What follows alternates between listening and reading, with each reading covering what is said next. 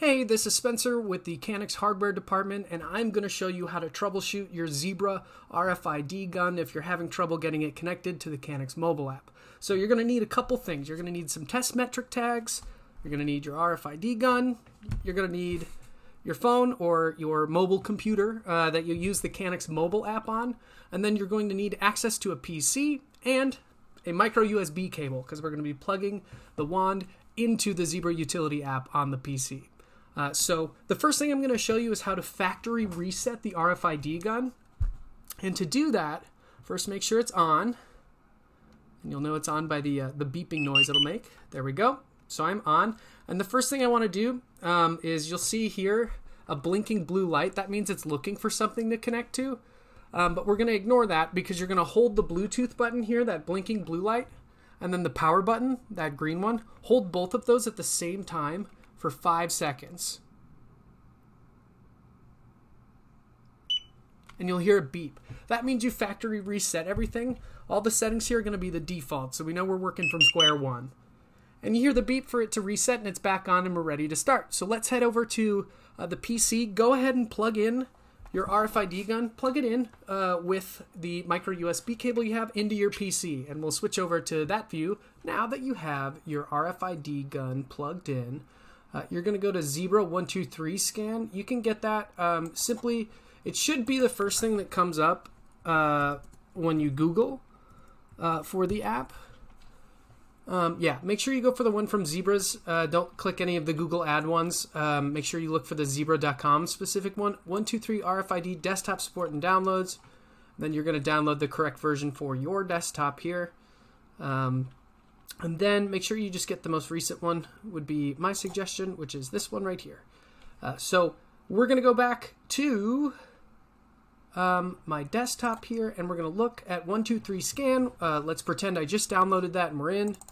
So we open up and my RFID gun is connected. So it's going to load here um, and it'll be able to show me what I have connected. And then we have a couple moves we need to do uh, to make sure that we're up to date with everything.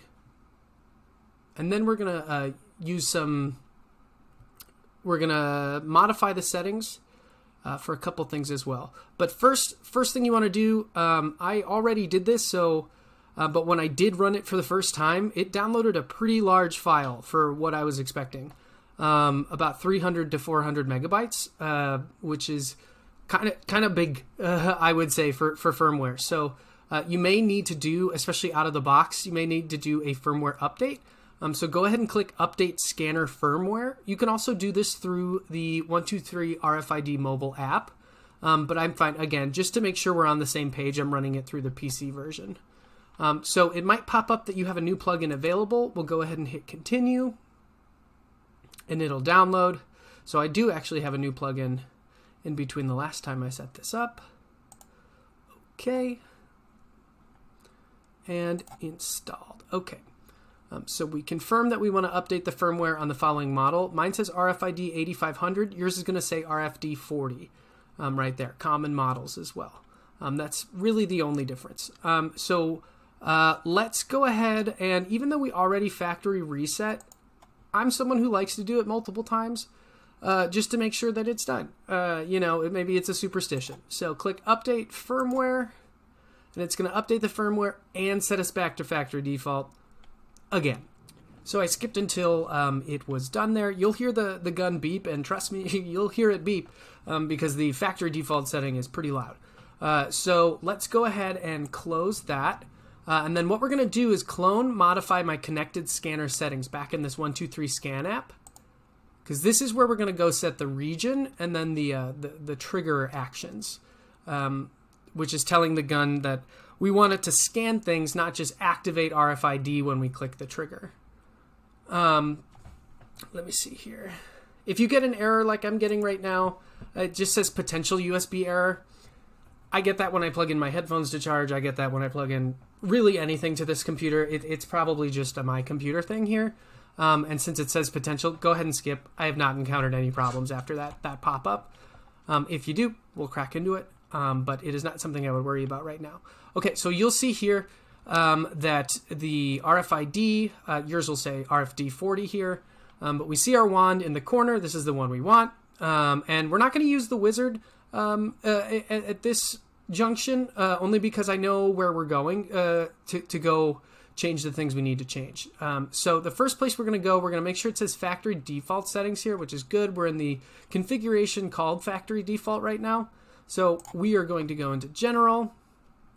And this all looks good especially for if for some reason you you, you bought your uh, your RFID gun uh, from an international seller, you might have to change that here, but it, it, should be North American. That all looks good here. What we're looking for now is the one other place we need to check for um, to make sure the region set, and that's going to be actually on the RFID here. Um, these all look good right now. Again, these are the factory defaults we shouldn't touch any of these, uh, to be honest, unless you see something radically different uh, in things like power level. Uh, 270 is what I would go for, but that again is that's why we reset everything to factory default. This should look identical right now. Um, okay, so we're going to scroll down a little bit more. Um, there's, as you can see, a lot of questions, so I got to make sure I find which one. No region set. You see how there's no region set here? Regulatory configuration, country of operation that's what we need to change here to United States of America, um, which is going to be listed right there. United underscore states. Um, that's the one you're looking for. Everything else here looks good. Here's the next thing we got to change. Start RFID operation on trigger. Yes, that's what we want. Um, we want it to, when we squeeze the trigger, do something. Um, so operation start triggering mode, start on trigger press. Yes, that makes sense. Uh, repeat start trigger.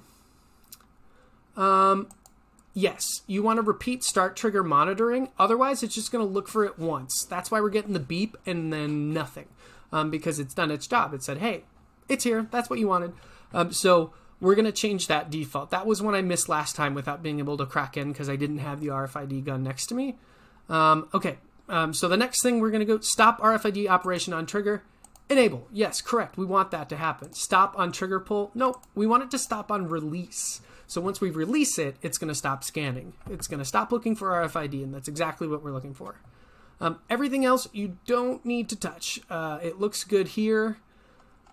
Um, just to double check everything here. All right.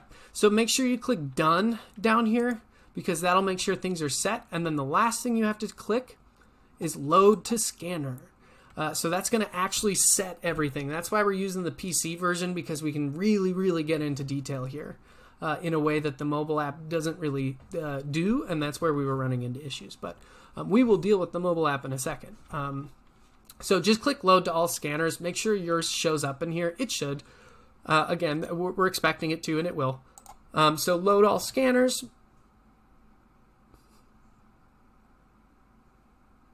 And once we have it loaded onto there, fantastic.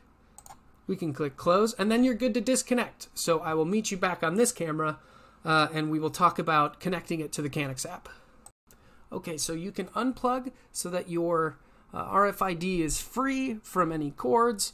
Um, and you're going to see that green light indicates we're on. That's good. I don't have any light here until um, I indicate that I want to search for something. Um, so I'm going to go to my phone's Bluetooth setting first before clicking any Bluetooth button uh, and make sure that my phone is in pairing mode. You can see this the screen on my phone settings that has my watch and the speakers that I've connected to throughout my life, uh, apparently. Um, and so uh, now that we know, you see that I'm looking for other devices, we're going to click the Bluetooth button on the side here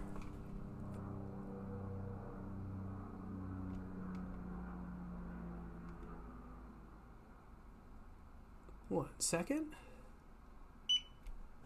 All right, you'll hear a beep. And then it should start blinking. Like that. Blinking a slow blue blink. And you'll see it pop up in your phone here. So I'm going to do, I'm going to click that. And then while it's pairing, after I clicked it, squeeze the trigger. You have to confirm the pairing by squeezing the trigger. That's why you heard a beep right there. And then it'll show up and your phone's connected. That's another part we miss is you actually have to squeeze the trigger to accept the pairing on the RFID gun. By default, there's really no way to change that one.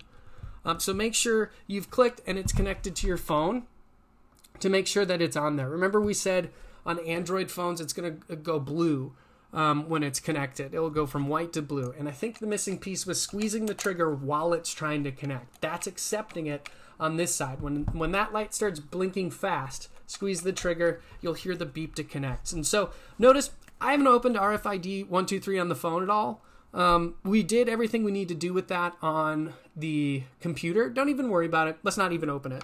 Um, so, but we are going to open the Canix app, and you'll hear when I open the Canix app, this should beep. Um, so that is great news. Just a reminder um, that in your Canix settings, which I got to by flipping to the side, that's not going to work well. Um, but because of that, but I uh, scrolled to the side to get to that side menu, as you've seen, where you see the Bluetooth settings. But we're going to go to um, settings on Canix, and then make sure it says, again, tough. Uh, Bluetooth scanner is what we're looking for. That that setting there, make sure that's checked. That's telling the Canix app, forget the camera on the phone. I'm looking for some sort of scanner. Um, so we are going to go into uh, plants now, and we're going to make sure that this is working for us. Okay, so you are going to go into identify plant, and you'll hear a beep, meaning that your uh, RFID wand is ready. And then pull up some Metrc tags. I got some here. These are uh, genuine Metrc tags, and you'll go. I didn't have to click anything on the app, and you'll hear beep beep, and then I got my number in there. Um, so that should work, uh, and that would be what we're looking for. Uh, so everyone you scan, you can go in there, and then the audit will work as well. If you go backwards, you'll hear it beep to go once you're out of identified plant, and you can go to Start RFID Audit, and then you can do that from there as well. You'll see it connected, um, whereas before we were seeing it disconnected.